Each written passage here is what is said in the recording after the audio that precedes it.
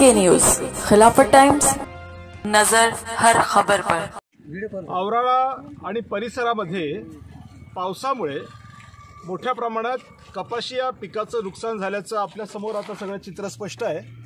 अशा परिस्थितीमध्ये आत्तापर्यंत कुठल्याही राजकीय नेत्यांनी किंवा शासकीय अधिकाऱ्यांनी हॅलो नमस्कार. बाळराजे मी तुम्हाला आता फोटो पाठवलेत कपाशीचे औराळा परिसरातले. ते हां ते लगेच लगेच पंचनामे करून टाका आणि नुकसान भरपाई किंवा पीक विमा या दोन्ही संदर्भातले पेपर्स तयार करून पाठवून द्या वरिष्ठांना हो सर हो सर ते विम्याचा टोल फ्री क्रमांक आहे मी हा. आपल्याला टाकतो सर हो. अं, वैयक्तिक शेतकऱ्यांनी अं, बहात्तर तासामध्ये तक्रार नोंदवायची किंवा ते तालुका ऑफिसला एक अर्ज द्यायचा नुकसानीचा ते आपण- आम्ही विमा कंपनी करतो पाठवतो ठीक आहे. नाही ठीक आहे पण आता शेतकरी सगळे इथेच आहेत. तुम्ही इथं उद्या तुमच्या कृषी सहाय्यकांना पाठवा किंवा तुम्ही स्वतः येऊन हा परिसर बघून घ्या. ठीक आहे उद्या आठवणीने यायचं नाही बघायचं कारण नुकसान खूप झालंय.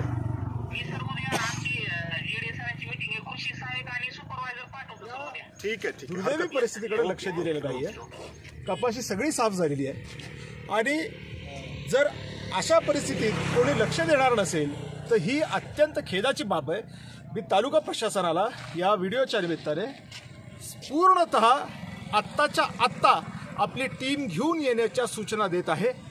आणि आपल्या तालुक्याचे कृषी अधिकारी बाळराजे मुळीक यांना मी आत्ता बोलतो आहे आणि तातडीने तुम्ही इथे येऊन या सर्व परिसरातल्या पिकांचे पंचनामे करून शासकीय मदत किंवा पीक विमा या संदर्भातले कागदपत्रांची तयारी तातडीने सुरू करा अशा पद्धतीच्या सूचना मी त्यांना देत आहे.